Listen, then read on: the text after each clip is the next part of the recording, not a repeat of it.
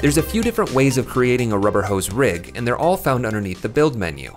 The first option is new rubber hose. When you click this button, you'll be prompted to give the hose a name as well as labels for the start and end controllers. When you click OK, rubber hose will generate three shape layers, one for the hose and two for the controllers. These two controller layers are set to guide layers so they won't render. Right away, you can click and drag the controllers to interact with the bend system that drives the hose. A hose works like an IK system but is much more flexible.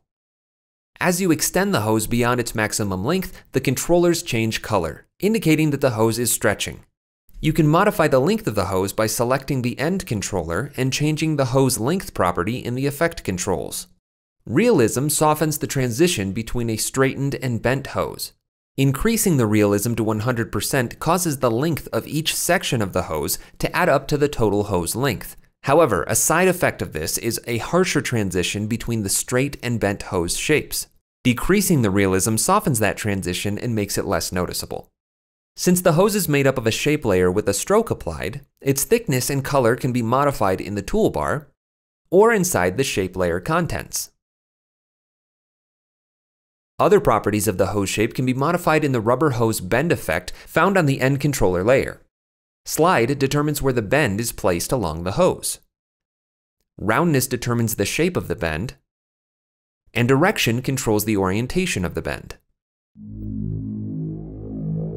One of the most powerful features of Rubber Hose 3 is the ability to add multiple bends along a hose. Simply duplicate the rubber hose bend effect, modify the slide, and the hose now has two bends. The slide, roundness, and direction properties modify their corresponding bend along the hose. You can easily remove any bend simply by deleting the corresponding bend effect. Learn more about multiple bends in the bend system video. Since shape layers are used to drive the start and end of the hose, other layers may be parented to them.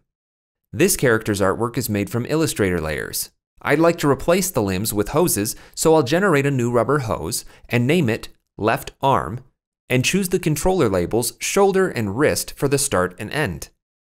I'll click OK and reposition the controllers so that they align with the character's shoulder and wrist. Next, I'll modify the hose length, direction, and roundness until it aligns with the arm. Then I'll modify the stroke width and color to match. I'll rearrange the layer order disable the original art, and parent the hand artwork to the wrist controller layer. And just like that, I have a rigged arm. The second option for creating a rubber hose is using Path to Hose. Since this character is made up of Illustrator artwork, I can right click on any one of these layers, choose Create, Shapes from Vector Layer, and After Effects will convert that artwork into a shape layer. This layer is made up of a single path with a stroke applied. So with that layer selected, I'll click on Path to Hose, name this limb Right Arm with the shoulder and wrist controller labels, and click OK. Rubber Hose will recreate that path using a hose and align the bend to the point on the path. Again, I'll parent the hand to the wrist controller and my second arm is now rigged. You can also draw a hose path directly in After Effects. With the pen tool active, I'll trace a path along this leg, being sure to add a point where I want the bend to be for the knee. It's important to note that the path to hose function places bends at points between the start and end of the path. If only two points are used to draw a limb, no bends will be generated on the hose. I'll modify the stroke to be the correct thickness and use the eyedropper to choose the correct color. Then I'll go into the shape contents and round off the caps and joins. With the path layer selected, I'll click Path to Hose, name this left leg, choose the hip and ankle controller labels, and click OK. Rubber Hose traces that path using settings that best approximate the way the path was drawn. Any difference between the original path and the resulting hose is likely due to the realism property. Simply modify the realism or adjust the hose length to match the artwork more closely. Easily adjust any setting to taste, reposition the controllers to match the artwork, and rearrange the shape layer order so that it stacks with the rest of the character art. The next method for rigging in Rubber Hose is Rubber Rig, which allows you to create a bend system from a parent chain of at least three layers, even if they're not shape layers. This character was drawn in Photoshop, and his layers couldn't easily be recreated using shape layers, which makes it a perfect candidate for Rubber Rig. I'll start with the right arm and solo the three layers that make up that limb. The first thing I need to do is reposition the anchor points over the joints of this limb. I'll use the anchor point tool to do this, checking that the rotation of each layer looks correct. Next, I'll create a parent chain between the three layers, parenting the hand to the forearm and the forearm to the upper arm. With the last layer in the parent chain selected, I'll click New Rubber Rig and name the limb. I'll choose Shoulder and Wrist for the controller labels and click OK. Rubber Hose will now rig these three layers using the same rubber hose controls as the previous two methods instantly creating a bend system for the limb complete with stretching. You can reposition and rotate any of these layers while preserving the underlying bend system, which is being driven by two bone layers parented to a hose. All of the same rubber hose controls are available under the end controller layer. Freely adjust the hose length, realism, slide, and direction. The roundness property is the only value that will not affect your artwork, as Rubber Rig is only scaling the layers and not bending them. By default, the last layer in the parent chain will automatically rotate with the bend direction of the hose. In addition, rotating the end controller also affects this layer. You can disable the auto rotation of the end layer by selecting it and unchecking auto rotate. There may be instances where you want to use character artwork as controllers for a hose. We can do this by using the exact same rigging process, repositioning the anchor points, creating a parent chain and selecting the last layer in that chain, and simply holding the Shift key while clicking the new Rubber Rig button. This will exclude the end of the parent chain, resulting in a two-layer bend system that does not affect the last layer in the parent chain. This allows the end controller to be parented to another layer like the shoe artwork, which now acts as the driver for the end of this hose. Note that there is no auto rotation functionality when using this method.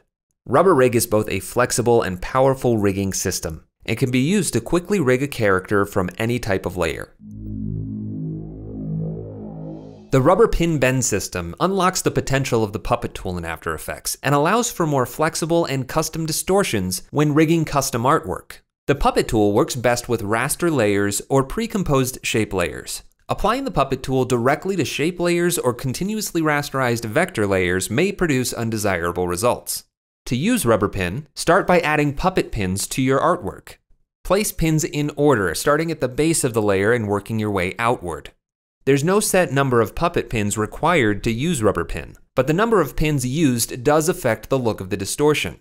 For this example, I'm going to use 5 pins evenly distributed along the layer. Once the pins are placed, click the new rubber pin button. Type in a name and select controller labels. A basic hose will be generated and the puppet pins will be parented to the hose.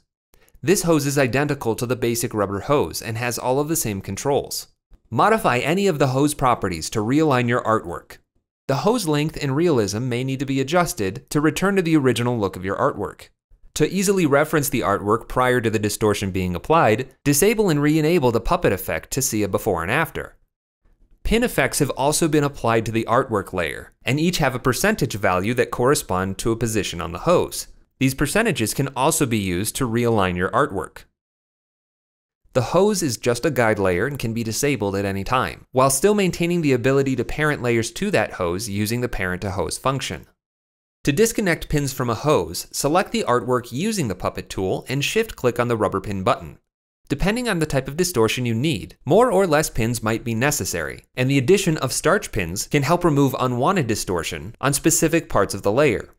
In the first example, 5 puppet pins were used, and the roundness value was increased to 100%, which resulted in a curved distortion matching the roundness of the hose. In the second example, only 3 position pins are used, and the roundness value of the bend is set to 0%. This still produces a curve even though the roundness is set to zero, although the appearance of the curve is not that pleasing. To match the angles of the hose more closely, add starch pins on either side of the elbow. This preserves more of the rigidity of the underlying hose, and adding more starch pins to the same mesh can affect the appearance of the distortion. In this example, five position pins were used, as well as two starch pins on either side of the elbow, which more closely distorts the artwork to the underlying hose and produces a more pleasing bend at the elbow. Try adding more or less puppet pins and experiment with the placement of starch pins to shape the distortion to your needs. Rubber pin also works with multiple bends. Just like the standard rubber hose, simply duplicate the bend effect or click the Add Bend button and modify the bend properties. Combining rubber pin with multiple bends allows you to mimic complex anatomy and shape custom distortions on any type of artwork. When paired with Void, a free script from Battleaxe, the Puppet tool can be used to rig entire characters and works side by side with Rubber Hose 3. Add as many puppet pins as necessary to the artwork layer. Reveal the pins by pressing U, select all of the pins, and click the Void button. Void layers will be generated for each pin, and now act as parents for those pins. These void layers will adopt the naming of the puppet pins, so it's good practice to name the pins prior to running the void script. Using Rubber Hose 3 and Void together allows you to create complex and completely customized character rigs.